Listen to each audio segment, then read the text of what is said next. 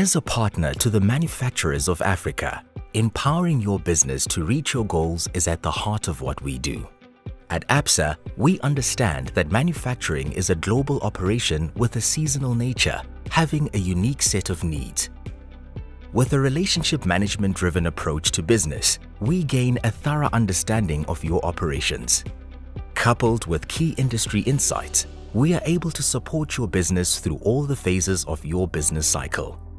Whether you're focused on starting up, maintaining your business, or growth and expansion, we walk the journey with you.